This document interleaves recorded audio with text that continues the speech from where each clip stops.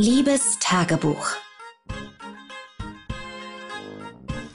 Ich bin Single und trotzdem lebe ich ständig mit jemandem zusammen. Dem Hunger. Zum Glück ist er ganz leicht zufriedenzustellen. Genussvoll Kalorien sparen. Nicht leichter als das? Nimm Fasten.